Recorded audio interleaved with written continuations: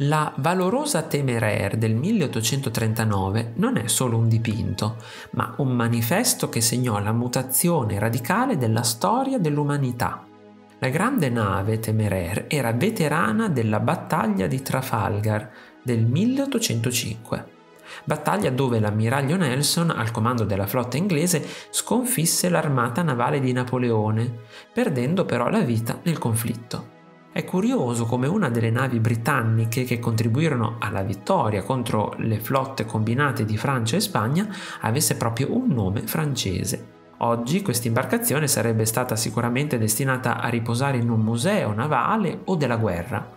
In fondo fu quella la battaglia che segnò i destini dei mari e dei rapporti tra Europa, Inghilterra e terre d'oltreoceano.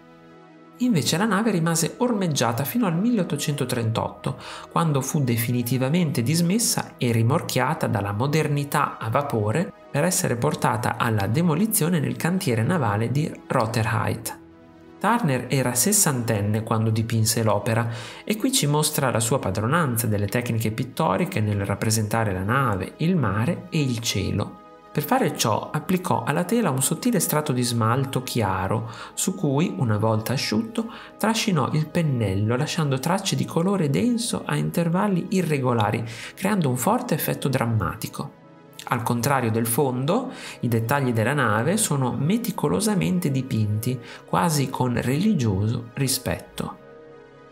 Il dipinto fu pensato per rappresentare il declino della potenza navale della Gran Bretagna e proprio per questo Turner si prese delle licenze poetiche che non rispecchiano proprio la realtà.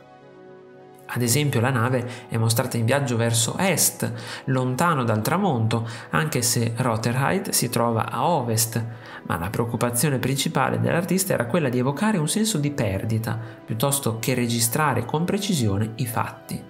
Inoltre la Temeraire era ormeggiata già da 13 anni, per cui tutto quello che la marina poté riciclare era già stato rimosso, dai suoi tre alberi maestri in quercia ai cannoni.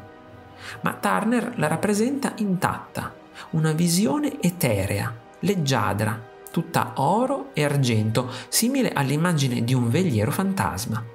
Al contrario, il nuovo rimorchiatore a vapore che la trascina lungo il Tamigi è più piccolo, scuro, quasi losco con quella grossa ciminiera che vomita fuoco. Una curiosità. Nelson lo si può vedere proprio di fronte alla National Gallery di Londra, dove è conservato il dipinto.